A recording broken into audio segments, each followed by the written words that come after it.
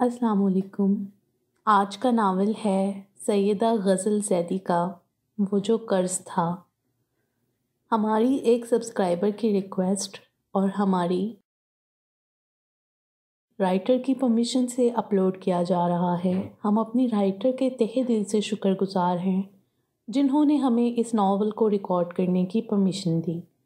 हमारे चैनल को सब्सक्राइब करें और बेल आइकॉन को प्रेस कर दें हमारे चैनल की लेटेस्ट अपडेट्स हासिल करने के लिए शुक्रिया। मुराद इसहाक अलवी के मुतालबे ने जरगे में मौजूद हर शख्स को मुंजमिन कर दिया था। किसी के वहमों को माँ में भी ना था कि खून बहा में वो ये मुतालबा भी कर सकता है। उनका मुकाबला मीर शेर अली ख़ान तड़प कर अपनी जगह से उठा था।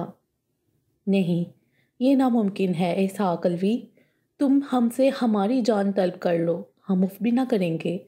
लेकिन तुम्हारा ये मुतालबा हम पूरा नहीं कर सकते।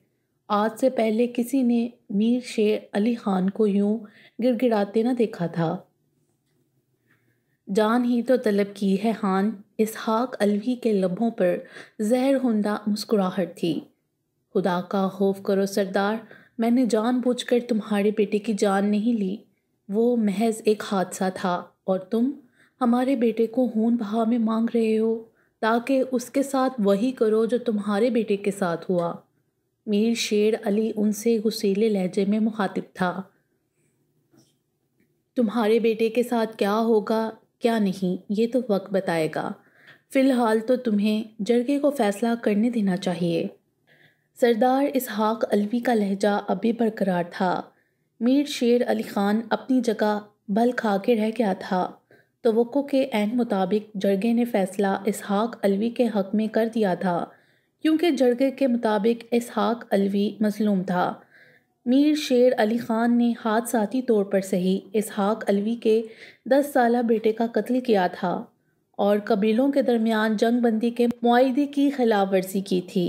लिहाजा हर जाने के तौर पर मीर शेर अली ख़ान को अपना दस साल बेटा मीर यावर अली ख़ान सरदार इसहाक अलवी के सपुर्द करना था। जब से उसका चेहरा सुर्ख हो गया था, मैं नहीं जाऊँगा बाबा जान आपको छोड़कर, मैं नहीं जाऊँगा। वो फिर से उससे लिपट गया था, मगर अब की बार सरदार इसहाक अलवी के आदमियों ने इसे पकड़ लिया था। छोड़ो मुझे, मैं अपने बाबा के पास जाऊँगा। बाबा मुझे बचा लो। वो रोते हुए मीर शेर अली ख़ान को पुकार रहा था। सरदार इसहाक अलवी के लबों पर फैली जहरीली खुंदा मुस्कुराहट। मीर शेर अली ख़ान का खून खुला गई थी। तुम्हें इसका बदला सूद समेत चुकाना पड़ेगा, इसहाक अलवी। मीर शेर अली ख़ान ने इसे लहू रंग से देखते हुए सोचा था। सरदारों और ख़ानदानों के बीच दुश्मनी सालों पर नहीं, सदियों पर मुहित थी। कितनी ही नस्लें इस दुश्मनी की नज़र हो चुकी थीं, और न जाने कितनी अभी होना बाकी थीं। सरदार इसहाक अलवी और मीर शेर अली ख़ान इस पुरानी दुश्मनी को निभाने वाले ने किरदार थे। सरदार इसहाक अलवी का सबसे छोटा बेटा, जरार अलवी, जो हाल ही में दस के सन में लगा था, मीर शेर अली ख़ान की बेसिमत गोली का निशाना बन गया था। गो के मीर शेर अली ख़ान ने इरादतन ना किया था, लेकिन खून तो हुआ था। और झड़प के बाद होने वाले माहे की खिलाफ वर्जी भी हुई थी। लिहाजा माहे की रो से मीर शेर अली ख़ान को खर्चाना अदा करना था और वो भारी से भारी रकम अदा करने को तैयार था। लेकिन सरदार इसहाक अलवी ने इससे इसका बेटा मांगकर तमाम हिसाब यकमुश्त बेबाक कर दिए थे। सरदार इसहाक अलवी की प्राडो मुख्तफ रास्तों से गुज़रती, हवेली के दाखिली दरवाजे से गुज़रती, अंदर दाखिल हुई थी। असला बरदार आदमियों ने तेज़ी से उतरकर गाड़ी के दरवाजे खुले थे। सरदार इसहाक अलवी उतरकर सहन के वस्त में खड़ा हो गया था। वो इस बच्चे को अपने साथ ले तो आया था, लेकिन क्या वो इसको कत्ल कर सकता था? क्या वो एक मासूम जान का बदला एक दूसरी मासूम जान को ज़ाया करके ले सकता था? इसने गहरी सांस हवा के सुपुर्द की थी। नहीं, हम ऐसा नहीं कर सकते।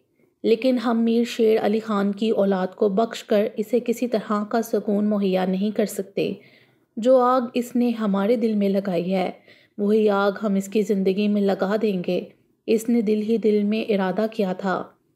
सरदार साईं, इस बच्चे का क्या करना है? सरदार इसहाक के खास मुलाजिम ने मोतबाना अंदाज में इसके पास खड़े होकर पूछा था। सरदार ने कुछ लम्हे पुरसोच निगाहों से उसे देखा। काल कोठरी में डाल दो इसे। सरदार इसहाक अलवी की जहर में डूबी हुई आवाज़ हकीम रियाज के साथ बाहर निकलते एहसान अलवी के कानों से टकराई तो इसने उलझी नज़रों से बाप को देखा। सलाम सरदार साईं। हकीम रियाज सरदार इसहाक के रूबरू खड़े होते हुए बोले, वालेकुम सलाम हकीम साहब। सरदारनी की तबीयत कैसी है अब? सरदार इसहाक के लहजे में फ़िक्र का अंसर नुमाया था।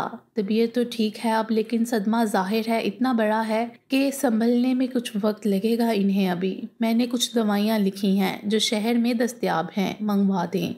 हकीम रियाज ने तफसील से बताया, तभी सरदार इसहाक के आदमियों ने ज़बरदस्ती बच्चे को गाड़ी से बाहर निकाला, जो खौफ से चीखता ज़ोर ज़ोर से रो रहा था। ये बच्चा कौन है? एहसान अलवी ने इस खौफजदा बच्चे को देखा था। मैं अपने बाबा के पास जाऊँगा, छोड़ दो मुझे। वो बुरी तरह रो रहा था। बाकर, छोड़ दो इस बच्चे को। एहसान अलवी बेसाख्ता इस बच्चे की तरफ़ बढ़ा था। सुरखो सफ़ेद, सेहतमंद बच्चा। एहसान अलवी को बेसाख्ता प्यार आया था। इसकी आँखें गहरी नीली थीं और कांच की तरह शफाफ थीं। क्या नाम है तुम्हारा? वो घुटनों के बल इसके बराबर बैठा था, जबकि वो बच्चा सहम कर कभी इसे तो कभी एहसाक, अलवी और कभी इसके आदमियों को देख रहा था। इसे देखकर एहसान की आँखों में जरात का चेहरा घूम गया। इस दुश्मनी ने कितनी मासूम जाने ली थी? ये मीर शेर अली ख़ान का बेटा है, जिसे हम खून बहा में ले आए हैं। जवाब इसहाक अलवी की तरफ़ से आया था। एहसान अपनी जगह मुंजमद रह गया था। इसे बाप से इस शकीमुल कल्बी की तो नहीं थी। एहसाक अलवी के इशारे पर इसके आदमी बच्चे को घसीटते हुए ले गए थे। तो क्या आप इस मासूम बच्चे को? नहीं, हरगिज़ नहीं। हम इसे नहीं मारेंगे, लेकिन जो सलूक इसके साथ करेंगे, इसका बाप पल पल मरेगा और पल पल जिएगा। इसहाक अलवी की आवाज़ में असदहों की फुंकार थी। और अपनी बात मुकम्मल करने के बाद इन्होंने अंदर की सीमत कदम बढ़ा दिए थे। एहसान हैरत सदमे के मिले जुले तासुर लिए अपने बाप को जाता देखता रहा था और आने वाले दिनों ने इसहाक अलवी के लफ्ज़ों की हकीकत को आश्कार किया था। बच्चे को पूरे दिन में एक वक्त का खाना दिया जाता था। वो भी ऐसा कि ना उगला जाए, न निकला जाए। पूरा दिन खेतों में इससे मुशक्क़त का काम लिया जाता। लकड़ियाँ कटवाई जाती, जिससे इसके हाथ पर छाले पड़ गए थे। हालाँकि मालकान ने इसे मुलाजमों के रहमो करम पर छोड़ा हुआ था। लिहाजा वो इसके साथ स्याह करें या सफ़ेद, इन्हें सरोकार ही ना था। एहसान अपने पेपर्स के सिलसिले में शहर गया हुआ था, वरना शायद मुजालिम की फ़रिस्त कुछ कम हो जाती। कुछ ही वक्त में इसकी रंगत मुरझा गई थी। नीली आँखों का रंग बहुत ज़्यादा रोने की वजह से धुंधला सा गया था। एहसान की शहर से वापसी हुई तो इस बच्चे की हालत देखकर इसका दिल गम से दो चार हो गया।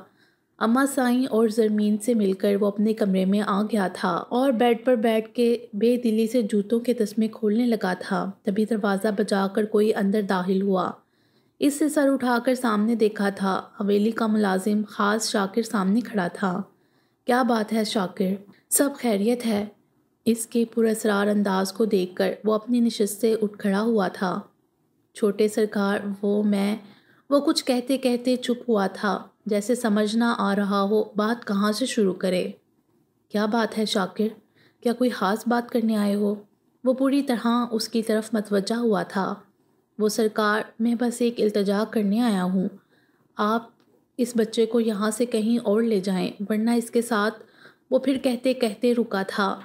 खुलकर बताओ शाकिर, वो परेशान हुआ था। वो बहुत मासूम और बेकसूर बच्चा है साईं। मुझे डर है कहीं वो किसी ज़्यादती का शिकार ना हो जाए। सरदार साईं के आदमियों का अंदाज़ अच्छा नहीं है। वो सर झुकाए शर्मिंदगी से बोल रहा था, एहसान अलवी तो अपना दिल थाम कर रह गया था। अपनी बात कहकर शाकिर कमरे से चला गया था। एहसान के माथे की रगें गुस्से के सबब उभर गई थीं। चंद लम्हे इसने अपने सांस को मतदिल किया था और फिर कमरे से बाहर निकला था। उसका रुख हवेली के पिछले हिस्से की तरफ़ था। मीर यावर अली ख़ान इसे एक दरख्त के तने से टेक लगाए घुटनों में मुँह दिए बैठा नज़र आया था। सुनो लड़के, उठो यहाँ से। वो इसके सर पर पहुँचा था। मीर यावर ने सहम कर सर उठाया था। मैंने कुछ नहीं किया। वो बहुत डरा हुआ लग रहा था। मैंने कहा, ना, उठो यहाँ से और चलो मेरे साथ। वो नरम मगर ताहकुम बड़े लहजे में मुहातिब हुआ था। मुझे माफ़ कर दें, मैंने कुछ नहीं किया। वो एक ही रट लगाए हुए था। शाकर शाकर, इसने पलट कर ज़ोरदार आवाज़ में पुकारा। शाकर चंद लम्हों में हाजिर था।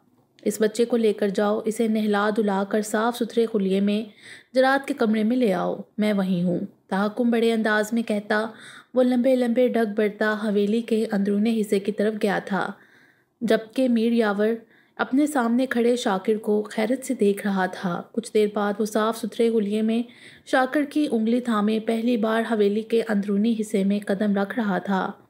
हवेली का अंदरूनी हिस्सा देखकर इसे अपनी हवेली, अपने लोग याद आए थे। अपने शहजादों जैसी ज़िंदगी याद आई थी। इसकी आँखों में आँसू आ गए थे। शाकर दरवाज़ा बजाकर इसे कमरे में लिए दाखिल हुआ था। एहसान जराद अलवी की इन लाश तस्वीरों के सामने खड़ा था। शाकर जितनी खामोशी से आया था, उतनी खामोशी से वापस जा चुका था। कमरे में जा बजा जराद की तस्वीरें लगी थीं। खेलते कूदते स्कूल यूनिफॉर्म में इनाम लेते हुए कमरे के वस्त में एक छोटा सा गोल बेड था, जिसके सरहाने की तरफ़ चाँद सितारों की शक्ल के कुशंस रखे थे। खिलौनों से भरी एक अलमारी मशरकी दीवार के साथ खड़ी थी। तुम्हें पता है ये कमरा किसका है? एहसान बिना मुड़े मुहातिब था। इसकी आवाज़ पर मीर यावर इसकी तरफ़ मतवजा हुआ था। मेरे छोटे भाई जरार का कुछ लम्हों बाद वो खुद ही मुहातिब था। फिर गहरा सांस लेकर पलटा था और चलता हुआ इसके करीब आके खड़ा हुआ था। फिर घुटनों के बल बैठते इसके हाथ थामे थे। आज से ये कमरा तुम्हारा है। उसकी हर चीज़ पर तुम्हारा हक है। मैं तुम्हें तुम्हारे वालदेन तो वापस नहीं कर सकता, लेकिन हाँ वादा करता हूँ, इस हवेली से तुम्हें हर रिश्ता मिलेगा। तुम आज़ादानी ज़िंदगी गुजारोगे, बिना डरे, बिना झिझके। और एक अहम बात, तुम इस कमरे से बाहर नहीं निकलोगे।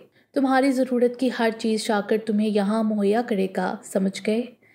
उसने नरम लहजे में उसे समझाया था। मीर यावर ने इस बात में सर हिलाया था। गुड, चलो अब शाबाश। चल कर लेट जाओ, तुम्हें आराम की सख्त ज़रूरत है। उसके लहजे में अपनायत थी। मीर यावर को इससे अब खौफ महसूस नहीं हो रहा था। इसको बेड पर लटाकर एहसान ने ब्लैंकेट ढका था। आप कौन है? मीर यावर ने पहली बार इसका हाथ खुद से थामते पूछा था। मैं? एहसान अलवी ने लम्हा भर को मुस्कुराते हुए सोचा था। लाला जान, तुम मुझे लाला जान कहो। जरार मुझे इसी नाम से बुलाता था। एहसान ने उसके नरम नरम बालों को छूते कहा था। वो रात एहसान अलवी ने यावर अली ख़ान के पास ही गुजारी थी। नींद में कितनी ही बार ढड़ कर उठा था, मगर एहसान अलवी की शफकत व मोहब्बत बड़ी आगोश ने इसे पुरसकून कर दिया। फजर की नमाज़ के बाद वो यावर पर मोहब्बत बड़ी निगाह डालता कमरे से बाहर आ गया था। तख्त पर इसे अम्मा जान बैठी नज़र आई। हाथ दुआ में उठे थे और चेहरा आंसुओं से तर था। वो इनके करीब आ बैठा था। उसके लिए दुआ करें, आपको सब्र आ जाएगा। वो इनके आँसू साफ़ करते हुए बोला था। अल्लाह ने आपसे एक जरार लिया है, लेकिन दूसरा दिया भी है। वो धीमे लहजे से बोला तो वो कुछ ना समझी वाले अंदाज में इसे देखने लगी थीं। आइए मेरे साथ। वो इनका हाथ थामे उठा तो वो उसकी तकलीद में उठ खड़ी हुई थीं। वो इन्हें जरार के कमरे में ले गया था। ये? जरार के बेड पर सोए बच्चे को देखकर इन्होंने सवालिया निकाहों से बेटे को देखा था। ये जरार है, अम्मा साईं। आपका वो जरार जिसे खुदा ने आपसे लिया था। वो पुर यकीन लहजे में बोला तो वो चंद सानिए इसे देखती गईं।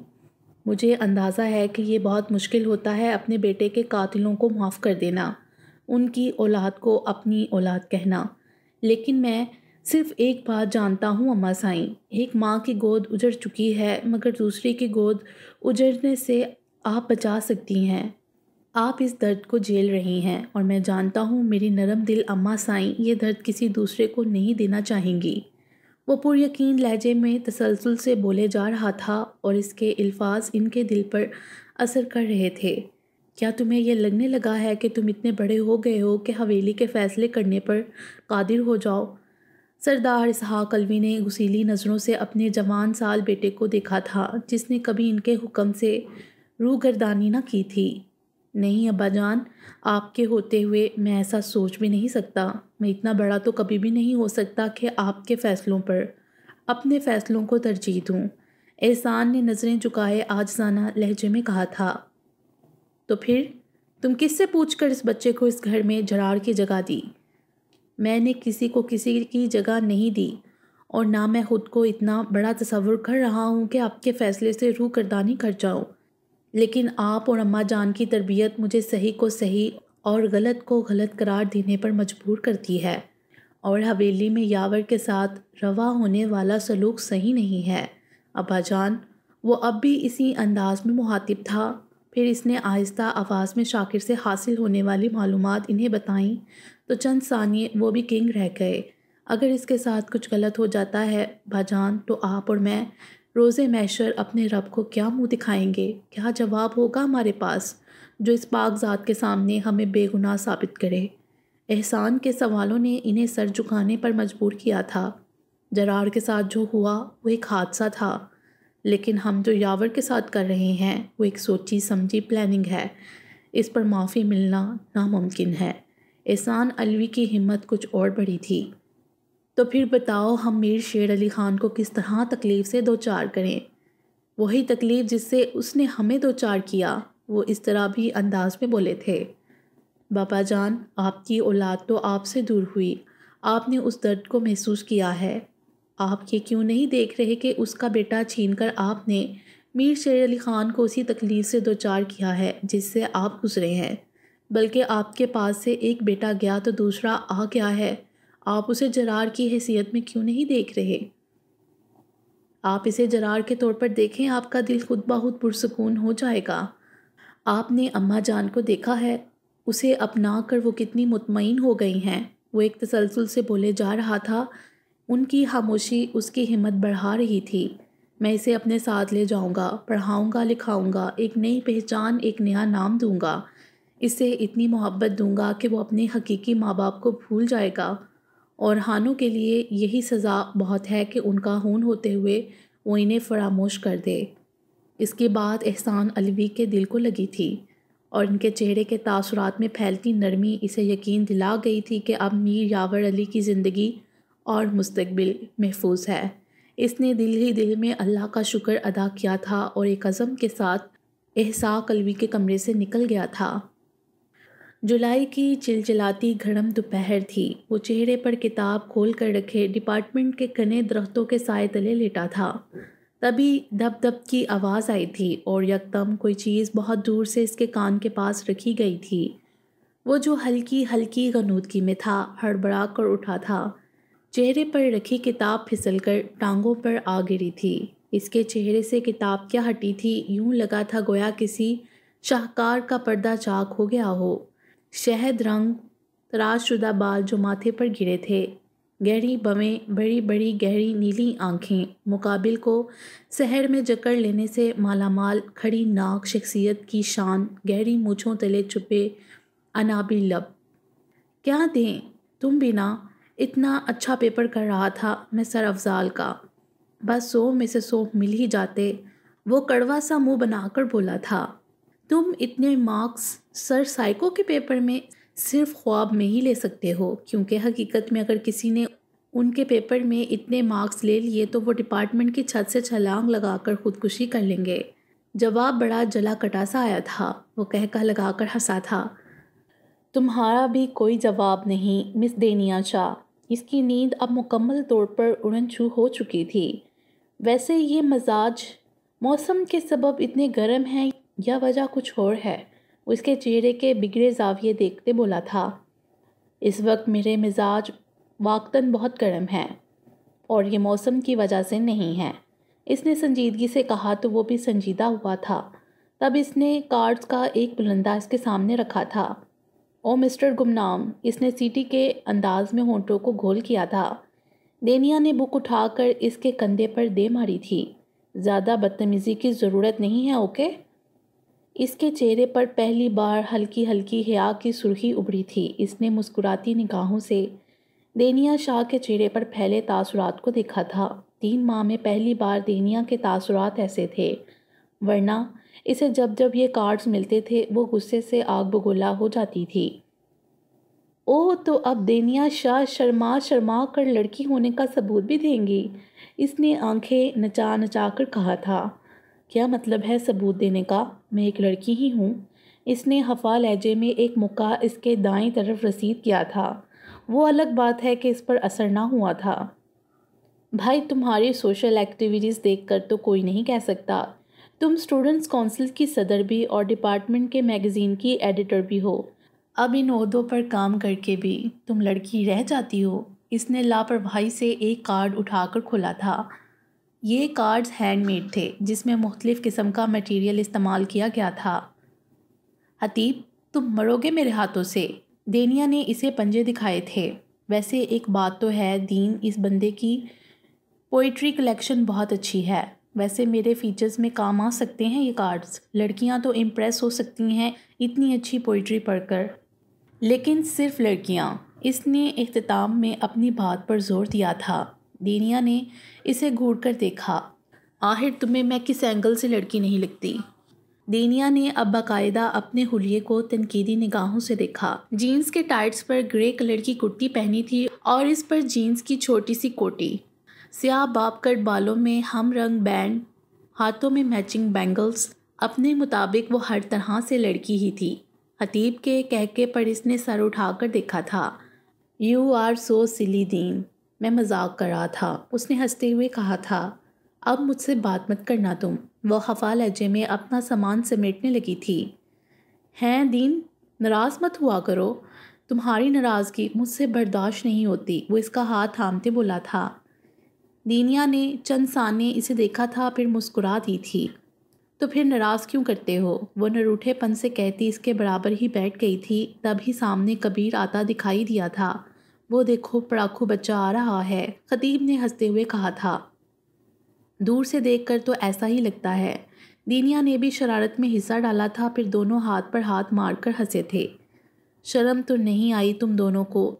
एक मोहतरम को दरख्त के नीचे सोने से, फुर्सत नहीं, और दूसरी मोहतरमा को सोशल वर्क करने से। वो जले बुने लहजे में बोलता इनके सामने बैठा था। सर अफजाल ने वार्निंग जारी कर दी है। नेक्स्ट क्लास में स्ट्रेंथ कम हुई तो वो पेपर में सबको फेल कर देंगे। फिर डिग्री के लिए चक्कर लगाते रहना। वो पानी की बोतल मुँह से लगाए बोला था, भाई, ये टेंशन वाली बात ना करो। वैसे ही मौसम बहुत गर्म है। हतीब ने इसके हाथ से ठंडे पानी की बोतल छीन कर अपने मुँह से लगाई थी। हाँ मोहतरम, हमें इल्म है कि आप नमक बने हैं। कबीर का अंदाज बरकरार था। खतीब पूरी डिठाई से हंसा था। और ये तुम किस मराकबे में चली गई हो? अब इसका रुख रोशन दीनिया की तरफ़ था। वो तीनों बचपन के दोस्त थे। हमेशा सा, हमेशा साथ साथ रहते आए थे। एक स्कूल, एक कॉलेज और एक ही यूनिवर्सिटी। और अब यूनिवर्सिटी का भी आखिरी सेमेस्टर। तीनों का डिपार्टमेंट भी एक ही था। बिज़नेस, एडमिनिस्ट्रेशन और आइंदा ज़िंदगी में भी तीनों एक ही कंपनी को ज्वाइन करके इसका कबाड़ा करने का इरादा रखते थे। कुछ नहीं, मैं बस सोच रही थी कि तुम दो जवान जहान पार्टनर्स के होते हुए भी कोई मुझे ये कार्ड भेज रहा है। तुम दोनों को थोड़ी शर्म आनी चाहिए। इसने शर्म दिलानी चाहिए। हमारी गैरत को आवाज़ मत दो, दीनिया। अगर ये जाग गई तो बहुत खून खराबा होगा, कबीर ने बटे ड्रामाई अंदाज में कहा था। बदतमीज़। दीनिया ने इसे बुक मारी थी जो इसने खींच कर ली थी। अच्छा भाई, मज़ाक बरतरफ अब हमें इस बंदे को पूरी संजीदगी से ढूंढना चाहिए, जो तीन माह पहले ही एक्टिवेट हुआ है। हतीब भरपूर संजीदगी का तासुर लिए बोला था, मेरे भाई, वो बंदा है, वायरस नहीं है। कबीर की ज़ुबान कब बाज रहने वाली थी। हतीब ने आजिज़ निगाहों से इसे देखा था और दीनिया ने खा जाने वाली नज़रों से। अच्छा बाबा, माफ़ी। कबीर ने फ़ौरन सुला जो अंदाज में हाथ उठाए थे। वैसे ये कौन हो सकता है? तुम्हें कोई अंदाज़ा है दीन? खतीब पूरी संजीदगी से मुहातिब था। दीनिया चंद लम्हे खामोशी से इसे देखती रही, फिर नफ़ी में गर्दन हिलाई थी। ये भी कोई सवाल हुआ भला हतीब, अगर इस शी टार्जन को पता होता कि वो कौन हो सकता है तो ये शी ड्राइकोला शक की बुनियाद पर ही इसे गंजा कर चुकी होती और पूरी यूनिवर्सिटी में गधे की सवारी करवा चुकी होती। कबीर होंठ फैलाकर बोला था, इन दोनों ने इसे सिर्फ़ घूरने पर ही इक्तफा किया था। ओके ओके, इसने दोनों हाथ मुँह पर रख लिए थे। वैसे पिछले तीन माह में जितने भी कार्ड्स मिले हैं तुम्हें, इनमें सिर्फ़ पोइट्री ही लिखी है और साथ ही के और डी का स्टैम्प इसका मतलब है वो जो कोई भी है, उसका नाम के डी से आता है। ख़तीब अब बाकायदा डिटेक्टिव की तरह कार्ड्स को उलट पुलट कर देख रहा था। इसका नाम सिर्फ़ के से आता है डी फॉर दीन कबीर ने भरपूर संजीदगी से कहा था और वो दोनों चौंक कर बहुत ध्यान से इसे देखने लगे थे। ये तुम मुझे अपनी मशकूक नज़रों से क्यों देख रहे हो? इसने यकबारगी दोनों को देखा था, केफ और कबीर। वो एक साथ बोले थे, अलमानुल हफीज़, तुम दोनों मुझे ऐसा समझते हो? इसने मसनू मस्किनियत ताड़ी की थी। मैं भला क्यों छुप छुप कर कार्ड्स भेजूँगा दीनिया को? सामने से भी दे सकता हूँ। अब वो बाकायदा सफ़ाई पेश करने पर उतर आया था। हाँ ये तो है। ख़तीब पर सोच लहजे में बोला था खैर, वो जो भी है, अब ज़्यादा दिन छुप नहीं सकता। जल्दी ही मंजर आम पर आ जाएगा। ख़तीब अपना सामान समेट कर उठ खड़ा हुआ था, क्योंकि इसे कोचिंग के लिए जाना था। ओके गाइस, अल्लाह हाफिज़। वो आगे बढ़ गया था। नीनिया ने इसे बहुत ध्यान से जाते देखा था। बैग कंधे पर टांगे वो हाथ में पकड़ी बाइक की चाबी झुला रहा था, जो खतीब नाम के की चीन में परोई हुई थी। वो चौंकी थी। K for Kabir and K for Hatib. ओ मैंने तो ये सोचा ही नहीं वो हैरत ज़दा सी रह गई। दीनिया उठ भी जाओ अब। या मिस्टर गुमनाम के बारे में ही सोचती रहोगी। पुप्पो अम्मा ने कहा था जल्दी घर आना वो तुम्हें लेकर बाज़ार जाएँगी। वो इसे रिमाइंड करवाते बोला था। नीनिया इसकी पुप्पो ज़ात कज़न भी थी और वो साथ ही रहते थे। हम्म, चलो वो उलझी उलझी सी उठ खड़ी हुई थी। वो न जाने क्या क्या बोल रहा था लेकिन अब इसका ध्यान उस तरफ़ ना था। क्या बात है दीनिया? मैं देख रही हूँ तुम कई दिनों से कुछ खामोश खामोश और परेशान हो। वो लॉन में बैठे उड़ते परिंदों को देख रही थी जब बुशरा भाभी चाय के दो कप ट्रे में लिए इसके पास चली आई थीं और इसका कप इसकी तरफ़ बढ़ाया था। नहीं, ऐसी तो कोई बात नहीं, वो मुस्कुराई थी। वाह, बड़े खूबसूरत कार्ड्स हैं, इतने सारे किसने दिए तुम्हें? इसके सामने फैले कार्ड्स पर इनकी नज़र अब पड़ी थी। वो बेसाख्ता कंफ्यूज हो गई थी। ये तो बहुत स्पेशल लग रहा है। इन्होंने कार्ड पढ़ते हुए शरारत से इसे देखा था। तुमने मामा को बताया कौन है ये? अब वो मुकम्मल तौर पर इसकी तरफ़ मतवजा थीं। पहले आप प्रॉमिस करें, आप मामा को कुछ नहीं बताएँगी। इसने यकदम ही इसे सब कुछ बताने का फ़ैसला किया था। ऐसी क्या बात है धीनिया? बुशरा भाभी इसे संजीदा निगाहों से देख रही थीं। मुझे नहीं पता ये कार्ड्स मुझे कौन बेचता है। वो इन दोनों के हाथ थामते बोली थी, क्या मतलब है दीनिया? वो इसे हैरत से देखने लगी थी। तकरीबन तीन चार माह पहले एक दिन मैं लाइब्रेरी में बैठी थी। बुक लेने के लिए रैक तक गई थी और जब वापस आई तो मेरे सामान के साथ ये कार्ड्स रखे थे, जिस पर लिखा था, फॉर दीनिया शाह। और तब ही से ये कार्ड्स आने का सिलसिला शुरू हो गया। ये कार्ड्स मुझे इसी तरह मिलते हैं, सामान के साथ रखे हुए। इनमें सिर्फ़ पोइट्री लिखी होती है और ये के डी का सिंबल। वो बोलती चली गई थी एक सांस में। लेकिन इस पोइट्री को पढ़कर तो महसूस हो रहा है कि ये जो कोई भी है तुमसे मोहब्बत करता है दीनिया। और जिस तरह वो तुम्हें ये कार्ड्स पहुँचा रहा है इसे तो लगता है कि इसकी हर लम्हा तुम पर नज़र है।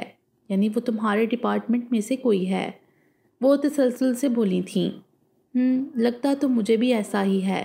दीनिया ने इनकी तारीद की थी। वैसे एक बात बताओ दीनिया तुम इस शख्स के बारे में क्या सोचती हो? आई I मीन mean, तुम्हारी क्या फीलिंग्स हैं? वो जांचती निगाहों से इसे देख रही थी। वो पजल हुई थी इस सवाल पर। फ़िलहाल तो कोई फीलिंग्स नहीं एक शख्स जिसे मैंने देखा ही नहीं। मैं जिसके नाम तक से वाकिफ़ नहीं इसके बारे में मेरी क्या फीलिंग्स हो सकती हैं? फ़िलहाल तो मैं हर सूरत इस शख्स को खोजना चाहती हूँ। कौन है ये? और क्या चाहता है?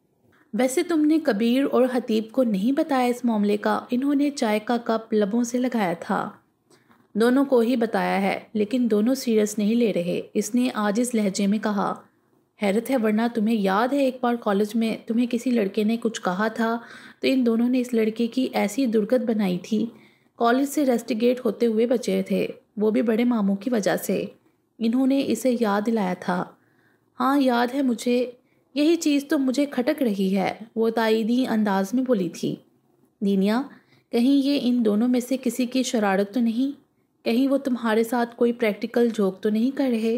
बुशरा भाभी ने इसे शरारत से देखा था। जी नहीं, मेरे दोस्त हरगिज़ भी ऐसे नहीं हैं। मैंने खुद इस मामले को सीरियस नहीं लिया था, इसीलिए इन दोनों ने भी नहीं लिया। अब वो कार समेटने लगी थी। तुम तीनों की दोस्ती मिसाली है, दीनिया। मजाल है जो कभी एक दूसरे की बुराई करो। अल्लाह बुरी नज़र से बचाए। इन्होंने मुस्कुराते हुए कहा तो वो फ़खर से मुस्कुरा दी। वो जिस वक्त घर में दाखिल हुआ, रात के ग्यारह बज रहे थे। इसने बहुत आहिस्तगी से दरवाज़ा बंद किया था ताकि अम्मा को पता न चले और सीधा अपने कमरे में गया था। कपड़े तब्दील करके जब वो किचन में पहुँचा, इसने किचन में अम्मा को खड़े देखा। वो मुस्कुराए बगैर नहीं रह सका था। न जाने कैसे। इसकी हज़ार कोशिश के बावजूद भी इन्हें इसकी आमद का पता चल जाता था। अस्सलाम वालेकुम अम्मा साईं। इसने फ्रिज में से पानी की बोतल निकाल कर पानी गिलास में उंडेलते हुए कहा था, वालेकुम सलाम। कैसा रहा मेरे बेटे का दिन? इन्होंने पलटकर इसको देखा, जो पंजों के बल ज़मीन पर बैठा, तीन घूंट में पानी पी रहा था। आपको आज बहुत देर हो गई कोचिंग से वापस आने पर, इन्होंने गरम सालन प्लेट में निकालते दरियाफ्त किया था। आपकी दुआओं के साथ घर से निकलता हूँ। दिन कैसे अच्छा नहीं गुजरेगा? और रहा सवाल, देर से आने का तो मैंने सेंटर में एक्स्ट्रा क्लासेस रखवाई थी, इसलिए देर हो गई। वो इनकी सिमत, मोहब्बत से देखते एक तसलसल से बोलता, चला गया था? खाना गर्म हो चुका था। इन्होंने खाना टेबल पर लगाया था। हमारे लाला जान आए थे फातिमा की शादी का कार्ड देने। अगले हफ़्ते शादी है। वो इसके साथ बैठते हुए बोली थी। फातिमा आप ही की शादी है। डैट्स ग्रेट इसने कुछ पुरजोश लहजे में कहा था। और तुम्हारे ताया अबू भी आए थे। कुछ चीज़ें लाए थे तुम्हारे लिए और एक रिक्वेस्ट भी की उन्होंने। वो तुम्हें अपने साथ रखना चाहते हैं। आई I मीन mean, हम दोनों को। वो चाहते हैं कि हम अब इनके साथ चल कर रहें। वो दोनों हाथ बाहम पोस्ट किए बोली थीं। हतीब के माथे पर नागवार शिकने उभरी थीं। इन्हें अब हमारी इतनी फ़िक्र क्यों होने लग गई है? जब हमें इनकी ज़रूरत थी, वो तब हमारे साथ नहीं थे। तो अब माशाल्लाह हम इस काबिल हैं कि हमें इनकी ज़रूरत नहीं है। इसके लहजे में इन्हें ख़ानदानी गरूर और फ़हर झलकता हुआ महसूस हुआ। ऐसे नहीं बोलते, हतीब, वो तुम्हारे ताया जान हैं। तुम्हारे बाबा की रूह को बहुत तकलीफ़ पहुँचेगी। वो अपने भाई से बेहद मोहब्बत करते थे। ये अलग बात है कि किस्मत ने इन्हें जुदा कर दिया। वो खोए खोए लहजे में बुली थीं। मैं किस्मत के बारे में नहीं जानता, लेकिन इतना ज़रूर जानता हूँ कि जज्बे सच्चे हों तो हर रुकावट दूर हो जाती है, वो लापरवाह अंदाज में बोला था। इन पर इतना इल्ज़ाम ना लगाओ हतीब। बाज़ दफ़ा जज्बों की सच्चाई ही सबसे बड़ी रुकावट बन जाती है। इंसान के जज्बों की आजमाइश भी हो जाती है। तुम कुछ नहीं जानते, इसलिए बेहतर है अपनी राय खुद तक महदूद रखो। दूध गर्म कर लिया है मैंने पी लेना, शब बखैर। वो हफ़ा लहजे में कहती किचन से बाहर निकल गई थीं। वो बस खामोश नज़रों से इसे जाता देख रहा था। वो बड़े इन हमाक से लेक्चर सुन और नोट कर रहा था। इसके बराबर कबीर भी यही कर रहा था। इस वक्त मार्केटिंग की क्लास हो रही थी। मार्केटिंग इन दोनों का ही पसंदीदा टॉपिक था और वो दोनों ही जानते थे कि दीनिया को मार्केट में रत्ती बराबर इंटरेस्ट नहीं था, बल्कि फाइनेंस में था। कबीर ने लेक्चर लिखते हुए एकदम इसे कोनी मारी थी। इसने हैरत से कबीर को देखा था, वो इसे आँख के इशारे से कुछ दिखा रहा था। इसने कबीर की निगाहों का ताकुब किया था और फिर बे इख्तियार हंसा था। दीनिया बैठे बैठे नींद के जूटे ले रही थी। इसे क्या हुआ आज? इसने धीमे लहजे में कबीर से पूछा था। मोहतरमा पूरी रात फेयरवेल के प्रपोजिशन प्लान करती रही हैं। और तुम तो जानते हो ना इसका सोशल वर्क स्टूडेंट्स में पार्टी की सदर है, पूरी रात उसका मोबाइल बजता रहता है। कभी स्टूडेंट का प्रॉब्लम कभी उस स्टूडेंट का प्रॉब्लम पुप्पी, अम्मा अक्सर तंग आ जाती हैं। वो कहती हैं कि ये लड़की कम और लड़का ज़्यादा है। और माशाल्लाह, बाकी कसर इसकी ड्रेसिंग से पूरी हो जाती है। पेंट्स लॉन्ग करते और गले में स्काफ नुमा मफरल पुप्पो, अम्मा बिल्कुल परेशान है इससे। कहती हैं, शादी कैसे होगी इस लड़की की? अगर हुई भी तो इसकी सुनहरी रंगत और अच्छे नैन नकूश की बुनियाद पर होगी। कबीर ने धीमे लहजे में मुस्कुरा कर तफसीली तौर पर बताया था। वो दबी दबी हँसी हंसा था। सर ने इसे सोते देख लिया तो फिर वाकई इसे सुला देंगे। कबीर ने हँसते हुए इसे देखा था। Silence, please. सर ने पलटकर बुलंद आवाज़ में कहा था। वो दोनों जल्दी से सीधे होकर बैठ गए थे। अरे, अब तो ये पूरी ही सो गई। कबीर ने दबी दबी आवाज़ में कहा था। हतीब ने पलट कर देखा था वो वाकई सो चुकी थी। एक मिनट, हतीब ने अपनी पैंट्स की जेब में हाथ डाला था। ये क्या कर रहे हो? कबीर ने दबे दबे लहजे में कहा था, साइलेंस, प्लीज़। सर अब झुंझला गए थे। हतीब ने जेब से एक कैंडी निकाली थी। अब वो समझ गया था।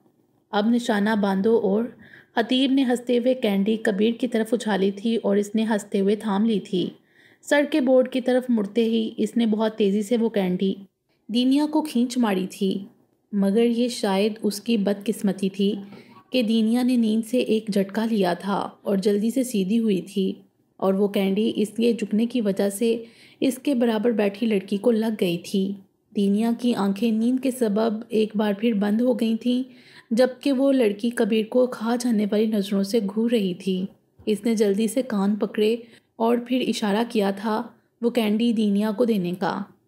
इस लड़की ने कबीर को घूरते हुए दीनिया को बुलाया था और कैंडी पकड़ा दी थी।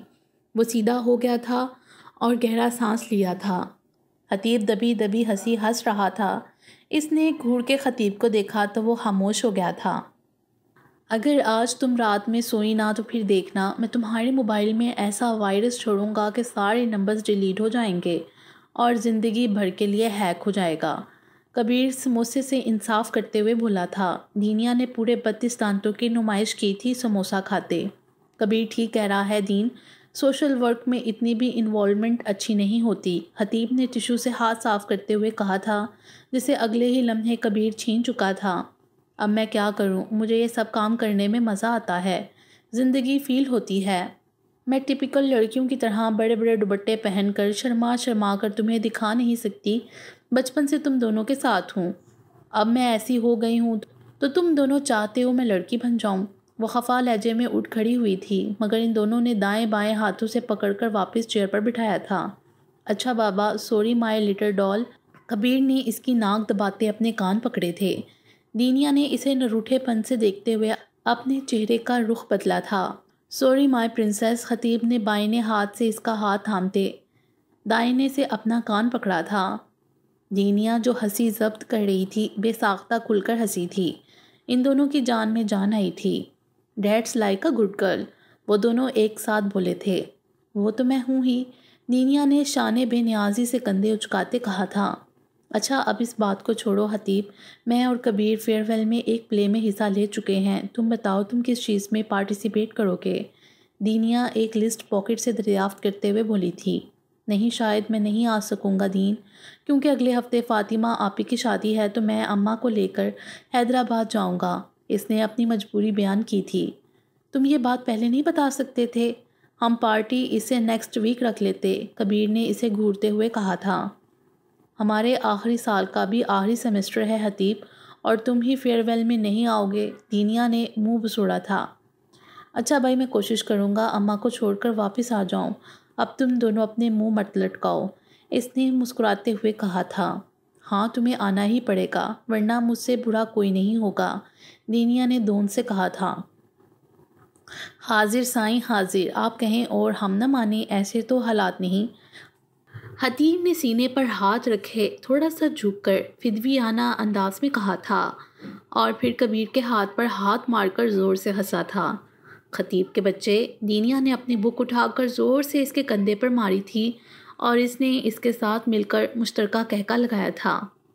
वो लाइब्रेरी में बैठी अपनी असाइनमेंट मुकम्मल कर रही थी। फेयरवेल की तैयारियों में इसे टाइम ही ना मिल पा रहा था। अब डेडलाइन में एक दिन बाकी था, इसलिए सुबह से दीनिया सारी क्लासेस बंक करके अब लाइब्रेरी में बैठी कभी एक बुक से नोट ले रही थी तो कभी दूसरी। कबीर और हतीब एक दो बार इसके पास चक्कर लगा चुके थे। अभी अपनी एक असाइनमेंट का एक टॉपिक ढूँढने के लिए इसे किसी दूसरी बुक की ज़रूरत थी। वो अपनी जगह से उठी और बुक शेल्फ्स के दरमियान से गुजरते अपने मतलूबा बुक ढूँढने लगी थी। तभी इसे कुछ महसूस हुआ। वो इस वक्त लाइब्रेरी के आखिरी कोने पर खड़ी थी और क्लासेस टाइमिंग की वजह से लाइब्रेरी में इक्का दुक्का ही कोई मौजूद था। किसी एहसास के तख्त इसने पलट कर देखा। कोई इसके चेयर टेबल के पास खड़ा था ब्लैक जैकेट और ब्लैक कैप पहने। दीनिया की तरफ़ इसकी पीठ थी। कौन है? दीनिया वहीं से पुकारी थी, मगर इसे फ़ौरन ही अपनी गलती का एहसास हो गया था, क्योंकि इसके पुकारते ही वो जो कोई भी था, फ़ौरन दरवाजे से बाहर निकल गया था। क्योंकि दीनिया की चेयर टेबल दरवाजे के नज़दीक ही थी। दीनिया दौड़ती हुई दरवाजे तक आई थी, मगर अब राहदारी में कोई नहीं था। बच गया। दीनिया ने अपने बाइने हाथ की हथेली पर दाइना हाथ से मुक्का मारा था, फिर पलट कर अपनी टेबल तक वापस आई थी। एक गोल्डन कलर का कार्ड इसके असाइनमेंट फ़ाइल पर रखा, जगमगा रहा था। मुख्तलिफ़ रंगों के कलर से इस पर डिज़ाइनिंग की हुई थी। वो थके थके अंदाज में चेयर पर बैठी थी। आखिर ये है कौन? दीनिया ने कार्ड हाथ में लिए हज़ार बार सोचा हुआ जुमला सोचा था। फिर कार्ड खोला। कार्ड के राइट कॉर्नर पर तहरीर था। औरों का है प्याम और मेरा प्याम और है। औरों का है प्याम और मेरा प्याम और है। इश्क के दर्द मंदों का तर्ज कलाम और है। बहुत अच्छा लग रहा है ये देख कर के तुम मुझे ढूंढ रही हो। लोगों में मेरा चेहरा तलाश कर रही हो। तीन माह में पहली बार शायद मैं बता नहीं सकता कि मैं कितना खुश हूँ। मोहब्बत एक बहुत खूबसूरत जज्बा है और मुझे खुशी है कि मेरे दिल में ये जज्बा तुम्हारे लिए पनपता है। दीनिया का दिल बेतरतीब धड़का था। और उसे अपने गाल दहकते हुए महसूस हुए थे। इसने लम्हा भर को कार्ड बंद किया था। इसे महसूस हुआ जैसे कोई इसे देख रहा हो। इसने गर्दन घुमा कर इधर उधर देखा, लेकिन कोई नज़र ना आया। इसने कार्ड दोबारा खोला। मैं तुमसे मिलना चाहता हूँ, दीनिया। तुम्हारे हर सवाल का जवाब देना चाहता हूँ। लेकिन मैं अभी इतना स्टैब्लिश नहीं हूँ। अभी मेरी कोई पहचान नहीं है। मैं अपनी पहचान खुद बनाना चाहता हूँ। अपने कदमों पर खड़ा होना चाहता हूँ। क्या तब तक तुम मेरा इंतज़ार कर सकती हो, दीनिया? मैं चाहता तो ये सब तुम्हारे रूबरू आकर भी कह सकता था, लेकिन मेरा मानना है कि हर काम करने और होने का एक तयशुदा वक्त है, और वो उसी वक्त अच्छे लगते हैं। मोहब्बत पर इख्तियार नहीं था, वो हो गई, लेकिन रिश्ता जोड़ने पर इख्तियार है, वो वक्त के साथ ही जुड़ेगा। अगर मेरी खामोश मोहब्बत ने तुम्हें परेशान किया है तो इसके लिए मैं कान पकड़ कर सोड़ी करता हूँ। फिर मुलाकात होगी। अल्लाह हाफिज़। दीनिया ने कपकपाते हाथों से कार्ड बंद करके अपनी फ़ाइल में रखा था। दिल अजीब से एहसास से दो चार था। ज़िंदगी में पहली बार ऐसा हुआ था। ये ना था कि इसकी ज़िंदगी में मोहब्बतों की कमी थी। मामा जान, मामू जान, मामी, भाई, भाभी सभी इससे मोहब्बत करते थे। और अल्लाह ने इसे दो बेहतरीन दोस्तों से भी नवाजा था। लेकिन मोहब्बत का ये रंग, ये अंदाज़ इससे पहले इसकी ज़िंदगी में नहीं आया था। इसने कपकपाते हाथों से अपना सारा सामान समेट कर बैग में डाला था। साथ में वो कार्ड भी डाला था। फ़िलहाल अभी जो इसकी हालत थी, वो खुद में किसी का सामना करने की हिम्मत नहीं पा रही थी। इसने अपना बैग उठाया था और लाइब्रेरी से बाहर निकल गई थी। इसका इरादा सीधा घर जाने का था। बाकी इन अगली वीडियो में। उम्मीद है आपको ये वीडियो पसंद आई होगी। हमारे चैनल को सब्सक्राइब करें।